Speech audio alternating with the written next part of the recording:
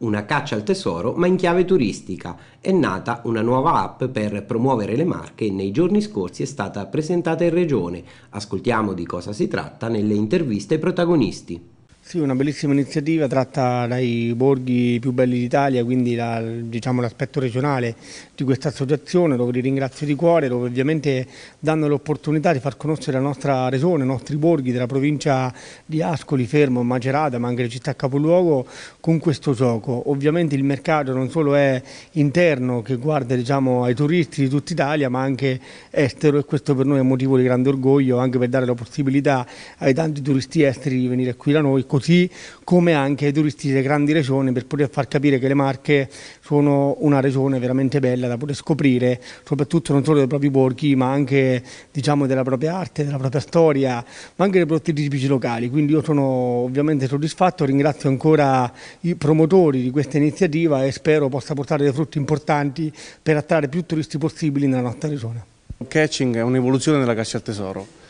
eh, abbiamo voluto unire turismo al, al gioco e una um,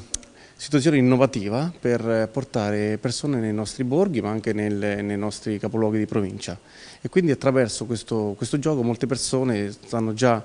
hanno cominciato già dal 5 luglio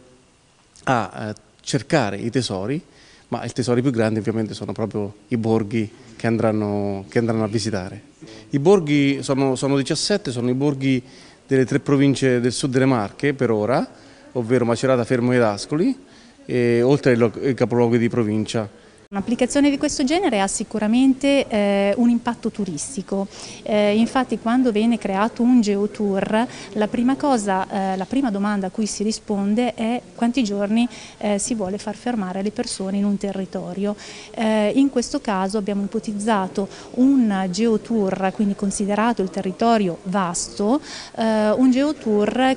che prevede di essere realizzato e completato in almeno 5-7 giorni giorni, il che significa che le persone staranno almeno 5-7 notti, quindi con tutto anche ehm, il fatto che si fermeranno, pranzo, cena, quindi c'è tutto un indotto sul territorio molto interessante. Quindi c'è una ricaduta turistica, una ricaduta per le attività economiche del territorio che sono interessate e ehm, eh, grazie a questo, a questo, strumento che è uno strumento innovativo che sicuramente ehm, eh, ha degli impatti eh, anche misurabili ed è la cosa più interessante.